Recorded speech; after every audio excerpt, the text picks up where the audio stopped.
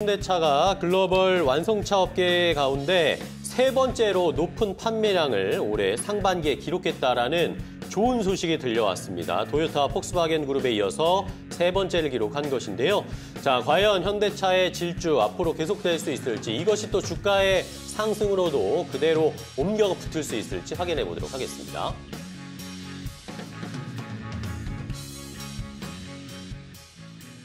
자, 현대차의 굉장히 좋은 소식이 들려왔습니다. 전 세계 글로벌 완성차 업계 중에 판매량이 상반기에 3위를 기록했다고요. 네, 정말 현대차 요즘 잘해주고 네, 있습니다. 대단합니다. 정말 예, 정말 응원하고 싶은데요. 상반기에 329만 9천 대를 팔았다고 네. 합니다. 그래서 일본 도요타 그룹 워낙 많이 팔고 있죠. 그래서 도요타 그룹이 513만 대를 팔았고 그 이어서 독일의 폭스바겐 그룹이 400만 대를 팔아서 각각 1위와 1위 했고 현대차가 329만 9천 대로 3위 글로벌 3위 를 했고 이건 처음입니다. 사실 글로벌 네, 3위를 차지한 것은 이번. 처음이어서 굉장히 잘했다라고 볼 수가 있고 현대차 다음으로는 이제 프랑스 르노와 일본 닛산과 미쓰비시가 결합한 르노 닛산 미쓰비시 얼라이언스가 314만 대로 이제 그 아래를 추격하고 있고요. 피아트 크라이슬러와 푸조 시트로엔 그룹이 합병한 스텔란티스 그룹이 301만 대 네. 그리고 이제 미국의 GM이 각각 4위와 뭐 4위와 5위를 차지를 했습니다. 그리고 특히 현대차가 5위에서 원래 5위였거든요. 3위로 치고 올라간 것이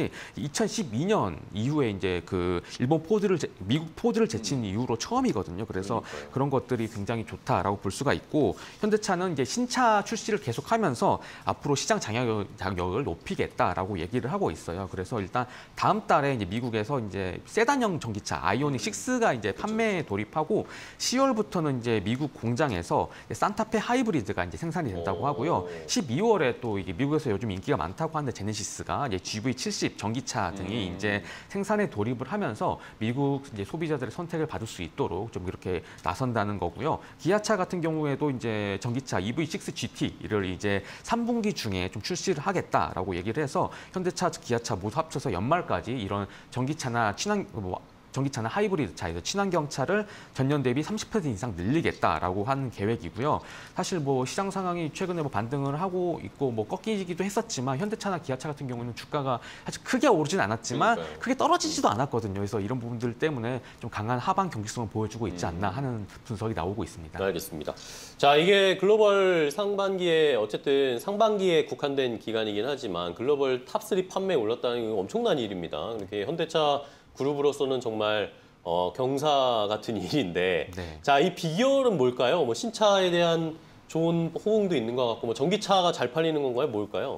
네, 사실 뭐 테슬라가 사실 많이 팔았을 때 그때 비- 비결이 반도체였잖아요. 네네. 그래서 현대차도 반도체라고 합니다. 어. 그래서 이 반도체 수급난 때문에 사실 뭐 차 지금도 인도 받으려면은 굉장히 오래, 오래 기다려야 되는데 이 한정된 반도체 공급량을 최적의 생산 라인에 배치한 덕분이다라고 어. 이게 자체 평가를 하고 있습니다. 네. 그래서 현대차, 기아차도 사실 작년 상반기에 비해서 판매량이 감소를 했어요. 5% 정도가 줄었는데 다른 경쟁사들이 더 많이 줄었다. 떨어졌구나. 뭐 두 자릿수대로 빠진 데도 있거든요. 스텔란티스 같은 경우에는 전년 동기 대비해서 16%가 하락했고 뭐 르노, 닛산, 미쓰비시 alliance 같은 경우에는 17%, GM 같은 경우는 18%나 무려 하락을 했거든요. 그래서 상대적으로 이제 좀 방어를 하면서 선방을 했다라고 이제 볼 수가 있고 또 이제 뭐 수익성이랑 대기 수요, 생산 효율 같은 거를 고려를 해서 최적의 생산 라인에 이제 반도체를 공급했다라는 분석을 할 수가 있다고 합니다. 그리고 현대차 그룹 같은 경우에는 이렇게 수직 계열화 되고 있다는 것도 다른 경쟁사 그쵸. 대비해서 좀 네네. 차별점인데 그것 때문에 이제 사실 반도체를 파는 입장에서는 이게 대량으로 생산을 빨리, 빨리 사가는 게 조- 중요하거든요. 그쵸. 빨리 사가는 게 중요한데 이 현대차 그룹 같은 경우에는 구매력도 강하고 음. 공급도 안정적이고 의사결정도 빠르기 때문에 그런 것들 때문에 덕분에 또 이제 반도체를 좀 확보를 할 수 있었다라고 이제 분석을 할 수가 있고 또 아까 말씀드렸다시피 이제 제네시스가 굉장히 또 미국에서 음. 인기가 있다고 음. 해요. 그래서 어 뭐 친환경 시장에서도 지금 잘 나가고 있고 이 제네시스 브랜드만 해도 미국에서 올해 상반기만 해도 2만 5천 대 정도 팔렸다고 오. 하는데 이것도 사실 반기 기준으로 최다 판매량이거든요. 그래서 이두 가지 반도체도 워낙 잘 공급 supply chain management를 잘 했고 제네시스도 잘 팔리고 있다라고 해서 이 두 가지 요인으로 분석할 수가 있습니다. 네.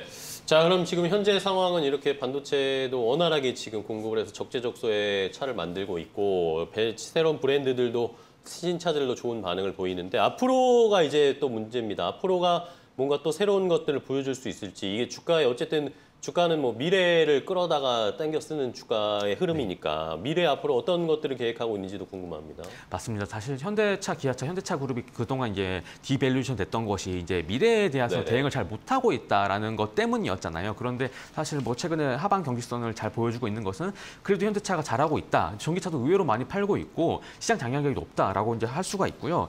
이 현대차 그룹이 이제 지난주에 최근 의사결정한 것들이 발표가 됐는데 네.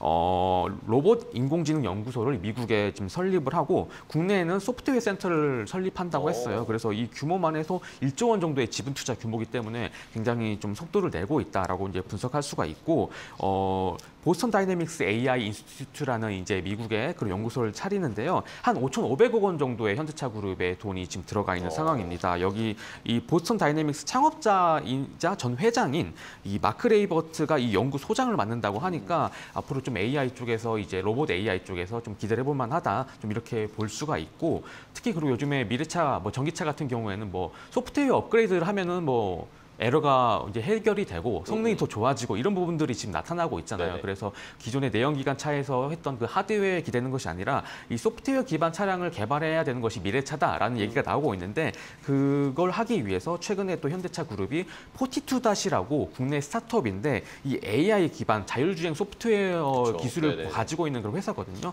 여기도 한 4천억 중반대로 이제 이 지분 인수를 했어요. 그래서 관련해서 이제 SDV 소프트웨어 기반 차량을 이제 기술을 개발하는데 현대차 그룹이 굉장히 또 힘을 쏟을 것이다라는 기대감이 나, 나오고 있습니다. 그래서 지금 이제는 뭐 시작 방향성은 잘 설정됐다고 볼 수가 있고 앞으로 여기서 어떤 실적들이 나오고 어떻게 또 이렇게 R&D와 연결시켜서 어떻게 신차들이 나오고 있는지 이런 것들을 또 중장기적으로 보면 좋을 것 같습니다. 알겠습니다.